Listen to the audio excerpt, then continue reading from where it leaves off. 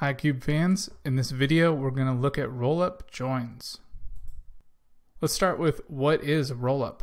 So in Cube, a rollup is a pre-aggregation that's made up of dimensions and measures that's saved or materialized in Cube Store.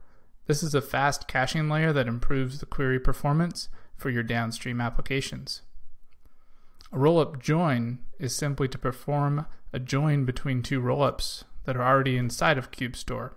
It's not materialized and it executes the join at runtime. So why might we need one of these? So the first use case, multi-data source join or blend. For example, what we can see here with our Snowflake and our Postgres data source. If a query needs a data that spans multiple databases, you can run that in Cube to avoid an ETL or federation step. So for example, if I have my users metadata in my data warehouse in Snowflake, and I've got my transactions in my Postgres read replica. I can bring in both of those datas, write their own cubes, uh, make pre-aggregations for both cubes, and then bring those pre-aggregations together in a roll-up join where I can access fields from both data sources in the same query.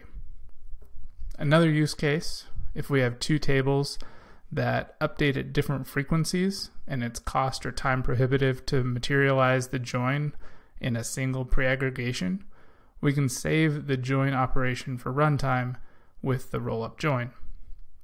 It's even possible to use these for user entitlements tables. So if you maintain your row level security entitlements mappings in a SQL table, you can rollup join that back to your business data pre-aggregation.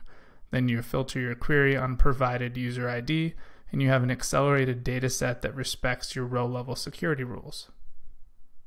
So let's take a look at a quick demonstration. We have a user's metadata table that's stored in our cloud data warehouse in Snowflake. We have our Postgres database with several cubes. We'll be looking at the orders table specifically here today. So in the users table, we have a pre-aggregation that's defined as the user rollup.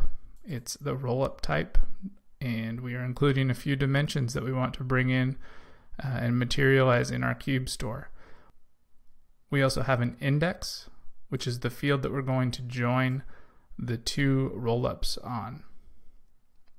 Then over in our orders table, or orders cube, we have additional dimensions, a measure, and then again an identifier that's going to be used in the join between orders and users.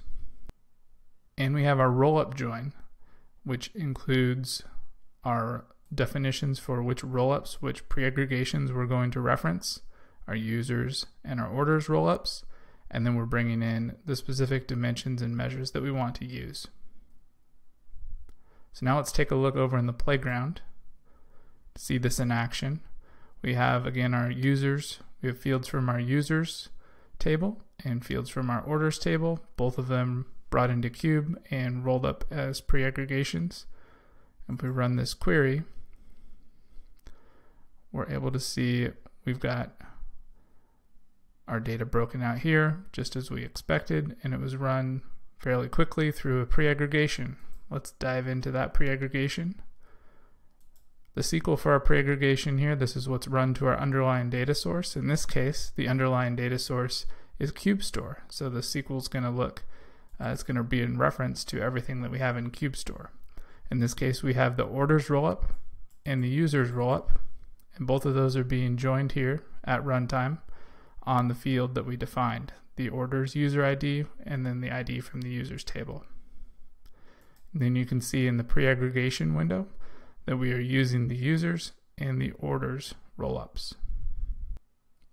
So to recap, in Cube, if we want to join or blend together data from multiple databases, or we don't want to materialize fields from multiple cubes together before runtime, we can employ rollup joins to still leverage the performance of Cube's fast caching layer.